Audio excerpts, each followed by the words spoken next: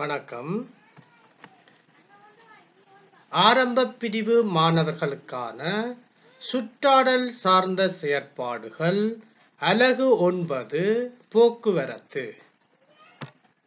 இந்த போக்குவரத்துல நாங்கள் இன்றைக்கு பார்க்க போற விடயம் வீதியில காணப்படுகின்ற குறியீடுகளை பற்றி அதுவும் புலமை பரீட்சைக்கு வார முக்கியமான குறியீடுகளை பற்றி பார்க்க போகின்றோம். அவதானித்துக் கொள்ளுங்கள் பிள்ளைகளே. முதலாவது பாருங்க. பாருங்க. முன்னாள் சிறுவர் கடவை. இரண்டு சிறுவர்கள் போறார்கள் முன்னாள் இந்த முன்னாள் என்ற வார்த்தை எதுக்கு வருமன்னா டைமண்ட் வடிவம். இந்த உருவன் டைமண்ட் வடிவத்தில் காணப்படுகின்றது. எனவே முன்னாள் சிறுவர் கடவை. அதாவது டைமண்ட் வடிவத்துல மஞ்சள் நிற பின்னணியில கருப்பால வரையப்படுகின்றதெல்லாம் முன்னாள் என்ற வார்த்தை பயன்படுத்த வேண்டும். எனவே முன்னாள் சிறுவர் கடவை. முன்னாள் என்ற வார்த்தை நீங்கள் போடவில்லை என்றால் அது பிழை அடுத்து பார்ப்போம். முன்னாள் ஒளிச்சமிக்கை விளக்கு இங்கே நாங்கள் ஏன் முன்னால் போருகின்றோம் டைமண்ட் வடிவம். ஒளிச்சமிக்கை.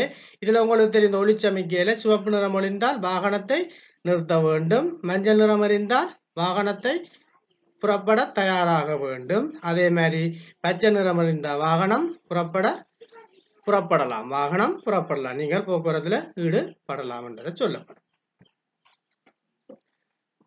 அடுத்தது பாருங்க. முன்னால் பாதுகாப்பற்ற புகையிரத கடவை. முன்னால் பாதுகாப்பற்ற புகையிரத கடவை. நீங்க ஒரு ரெயின் ஒன்று புகை தள்ளி கொண்டு போற மாதிரி பார்த்தீங்கன்னா சரி இது பாதுகாப்பற்ற போகிறது அது முன்னாள் வார்த்தை டைமண்ட் வடிவம். முன்னால் சரிவு பாதை முன்னால் சரிவு பாதை ஒரு வாகனம் கீழே சரிவை நோக்கி இறங்குது. எனவே சரிவு பாதை என்று ஞாபகத்துக் கொள்ளுங்கள். அடுத்த பாருங்க பாதுகாப்பான புகிரத கடவை ஒரு வேலி ஒன்று அமைக்கப்பட்டிருக்கின்றதை ஞாபகம் வச்சுக்கொள்ளுங்க. கொள்ளுங்க பாதுகாப்பான புகிரத கடவை இதுல முன்னால் பாதுகாப்பான புகிரத கடவைக்கும் முன்னால் பாதுகாப்பற்ற புகை கடவைக்கும் கடவைக்கும் வித்தியாசம் தெரிய வேணும். பாதுகாப்பற்றதுக்கு புகையிரதம் ஒன்று புகாக்கி கொண்டு போற மாதிரியும் பாதுகாப்பானதுக்கு வேலி மாதிரி அடைக்கப்பட்டதையும் பார்த்து கொள்ளுங்க அடுத்து முன்னாள் பாதசாரி கடவை. முன்னாள் பாதசாரி கடவை.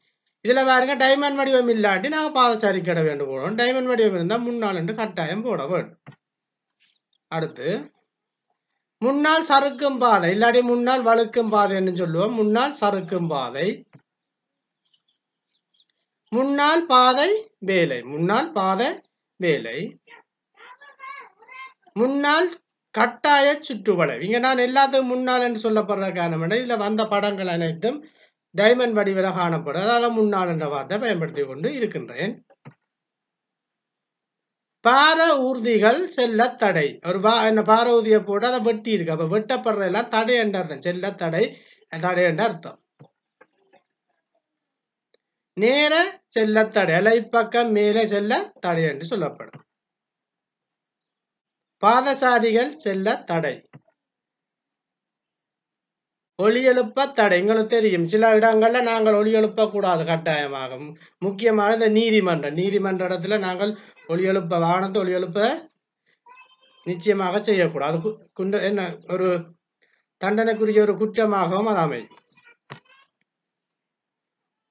நிறுத்துக. இது நிறுத்துக எனவே பிள்ளைகளை இது போக்குவரத்துல முக்கியமாக அதுவும் புலமை பரீட்சைக்கு வர முக்கியமான குறியீடுகளை தெரிவு செய்து நான் உங்களுக்கு விளக்கமாக கூறியுள்ளேன். நீங்க இந்த படத்தை ஞாபகப்படுத்திக் கொள்ளுங்க. விளங்காட்டி திருப்பி வீடியோவை பாருங்க. அத்தோடு இந்த வீடியோவை மற்ற மாணவர்களையும் ஷேர் பண்ணி கொள்ளுங்க. நன்றி. வணக்கம்.